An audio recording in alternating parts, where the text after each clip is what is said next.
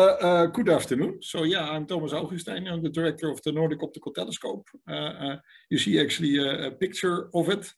This is a long exposure, so you can actually see one feature of the telescope where there is not only the telescope you can see, but also the lower part. You cannot see my cursor, of course, but anyway, the lower part is also open, so it's a very open design. And the whole upper part above the catwalk actually rotates. Okay, next slide, please. So yeah, it's a, it's a two and a half meter telescope. It was built, uh, sorry, the mirror was actually made in, in, in Finland. Uh, the same person that also made the Herschel uh, mirror for the satellite. So it's a very high optical quality. As I already showed you, the design is, is, is uh, this was built in the end of the 80s. It was very advanced for its time. It has now the features with, which most modern telescopes have, uh, open domes, uh, ventilation, uh, cooling system, etc. It has very high uh, quality. It's located at, at in Spain at the Roque de los Muchachos Observatory in La Palma, the Canary Islands. Uh, it's actually at plus uh, nearly 29 degrees and it's about an hour to the west, uh, but similar to other North, Northern Hemisphere observatories, as you saw before. It's operational since 1989. Um, um, one thing maybe to add that uh, the, the observatory is actually a much bigger uh, uh, thing with a lot of other telescopes. It also has facilities like a hotel, etc. So you can lodge there and stay. So in principle, those things are arranged. And of course, the telescope, you, you have facilities as well. There's a separate building. As you see, the, the, the telescope turns, so not actually stands for no toilet because it turns around so you can actually you have a separate building for that but uh, that's only a small joke. Um, so uh, the, the telescope is actually, uh, as it's called, Nordic. Uh, uh, we recently changed uh, the organization. It is now some kind of consortium of the Nordic universities, which is a separate hosting organization, which is actually why we participate through uh, Aarhus University. Uh, but in principle, these are the Nordic uh, uh, countries, and actually in Sweden, it's only Stockholm University.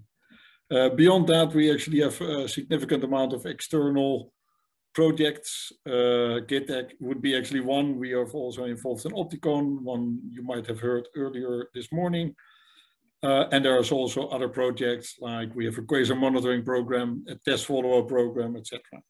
Our annual budget is about one and a half million. and in general, the observing time is shared uh, according to the contribution below the, the more basic data as for downtime for, for weather and technical, we have very few technical problems. It's uh, well below 1% over many years. Uh, actually, interesting number to say is that the weather downtime, although it's varying between summer and winter, the number of hours on average is nearly the same. It's about seven and a half hours per night per winter or summer nights we have available. Of course, in winter, sometimes you lose a few nights, but then the nights are also much longer when, when it's good weather. Uh, the next uh, slide, please. So yeah, the, the, the basic instrumentation, we have uh, two instruments which are all the time there. I will give a very broad description. I will not go very much in detail, but I will describe a bit with what I think will be of interest to you and potentially what, what you might have other interest beyond the, the basic stuff we have. So we have a, a, just a direct camera, StanCam, all the time uh, standby, which is the name. We have also a fiber-fed high resolution spectrograph, which is permanently available. That will be especially of interest to, to, to the kind of science that, that uh, most of you will be doing. And the next slide, please. So beyond the standby instruments, we have three basic instruments, uh, which normally are in, in, in Cassegrain. The standby instruments are basically in folded Cassegrain if you want. So in, in, in, in main Cassegrain focus, we would have either an infrared uh, uh, camera spectrograph, an optical optical uh, optical camera and spectrograph, or we have also a specialized uh, direct imager. Uh, next slide, please. There are also actually two two visitor instruments if you want. We have basically available uh, at any time. One is probably most of interest to, to, to this community is SOFIN, Soviet Finnish high resolution spectrograph, uh, which is actually specifically uh, includes circular polarization, which might be of interest. But it is a very high resolution, so very small wavelength coverage. There's also a multi-channel simultaneous uh, polarimeter imager. So you can do uh, high time resolution polarimetry or just imaging if you want. Next slide, please. So yeah, uh, eh, one of our main uh, workhorses is, is the Andalusian eh, faint object spectrograph and camera, so ALFOSC called. it's actually owned by, by the Institute of Astrophysics in Andalusia in Granada. You can do basic imaging. There can be up to, to 17 different filters you can use. You, there's also actually a, a, polarization unit to either linear or circular polarization, depending on which retarder plate you put. Uh, there are some nice imaging where you can see also the use of both narrowband and broadband imaging uh, to show its capability. Um, there's also spectroscopy. I would call it low resolution spectroscopy, although it's it's between 200 and 1,000 mm, sorry, for, sorry, 10,000 resolution. Typically, we're talking about uh, a thousand uh, resolution covering basically the whole optical range up to one micron. Uh, these are grisms. They include uh, volume phase uh, uh, holographic uh, grisms, which, which have a very high resolution. There's also the possibility to do multi-optic spectroscopy, and, and you can also do a kind of fast photometry if you want, high time resolution imaging. next slide, please. So a bit uh, the, the, infrared counterpart uh, to ALFOSC, uh, which is NOTCam. it has also imaging. There are actually two different cameras. Uh, with a relatively broad and, and, and low uh, and uh, sorry low and a high resolution if you want, specifically for good weather conditions. there's a broad set of filters, more than 20. They're permanently available because they are actually kept cold together with the rest of the instrument. Uh, there's also spectroscopy. It's actually a single grism in which the different wavelength uh, regions are, are, are, selected to the use of broadband uh, filters. So we basically do JHK. You can even do Z and Y if you want as well. And if you use actually the high resolution camera, you get higher resolution uh, spectroscopy. So you're talking about either two, 2500 or 5500 uh, resolution. Uh, so there's a nice image and, and, and, and a standard uh, typical uh, B star actually uh, spectroscopy, which is probably not the kind of science you would do with it, but that's a different thing. Next slide, please. So yeah, FIES, that is probably the, the, the, the, the most of interest uh, to, to, to, to you.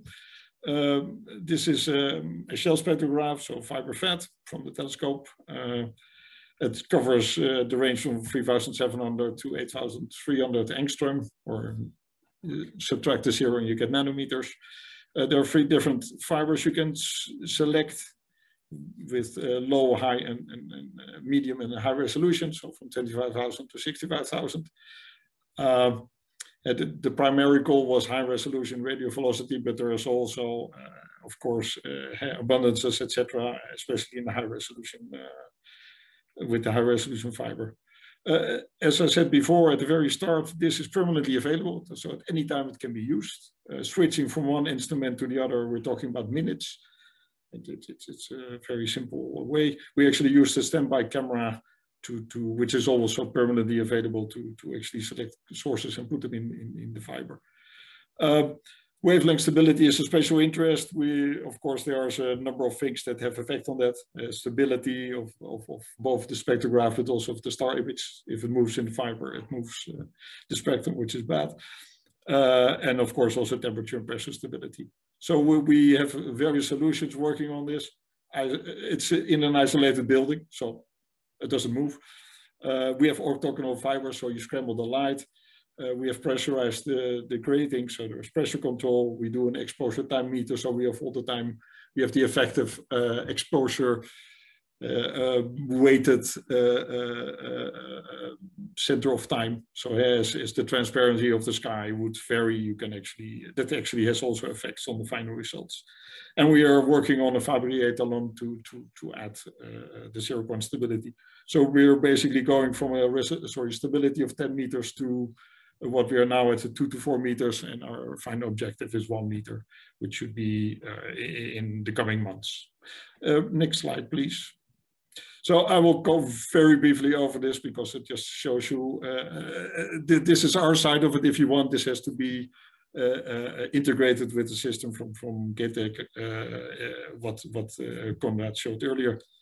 So uh, we normally have every semester a call. We have a very integrated system where this is all data, database, instrument setup, etc., uh, observing blocks, end of night reports, data distribution, etc. This is all one system.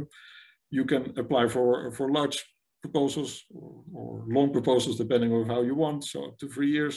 We also have a fast track proposal where you're talking about uh, up to four hours, and it could be done at any time. Next slide, please. What do we provide for observing mode? So we have regular visitor mode, service mode, monitoring programs. We have quite a few of them. This could be people that want one spectrum every night, long-term variables, or, or, or, you know, specific phases. We, we, we can adapt to all those things. Uh, we have a lot of them uh, running at all times. Uh, the same with TO programs, so suddenly events, uh, probably less of interest to you, but we have a mix of soft, so you can select them a few days in advance, or even hardware. You can say we want to have now a spectrum, or uh, things like gravitational wave uh, counterparts, uh, gamma ray bursts, supernova, etc. We also have extensive educational programs, on-site courses, remote courses for the last 10, 15 years. So that, that is also some interest to in the context of, of, of, of uh, ChETEC. Next slide, please.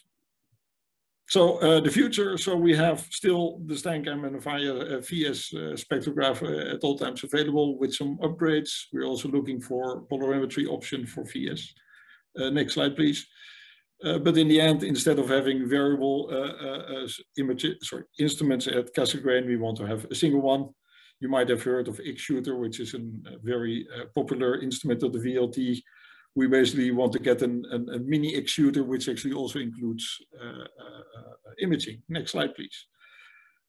This gives you a very broad overview. It basically combines all the instruments we had before.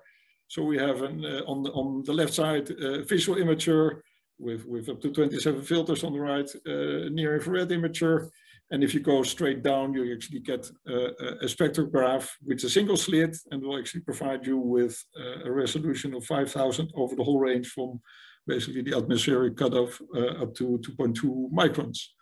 So uh, this is a single, uh, you get a, a, visual and an uh, optical, sorry, an infrared spectrum separately, but it is in, taken in one case, uh, uh, sorry, in one, in one time uh, altogether simultaneously over the whole range. Uh, next slide, please. Which may be relevant for you. The commission will be in principle 22, uh, which is in the middle of, of, of uh, this current uh, network. So that would be of uh, interest. so this is a very broad thing. It will actually also include polarimetry for the spectroscopy. And maybe going to the last slide. I think, yes. So this is our webpage. Uh, uh, all the information I provided you here. We have also extensive information as for exposure time calculations to go all these things, uh, uh observing block formation, etc. It is a, very easy to use telescope, uh, which is fully integrated and, and, and I think could be very useful. Maybe last but not least, there's up to 40 nights of observing time included in within the network. So uh, I hope you're interested and want to use this fantastic telescope. Thank you.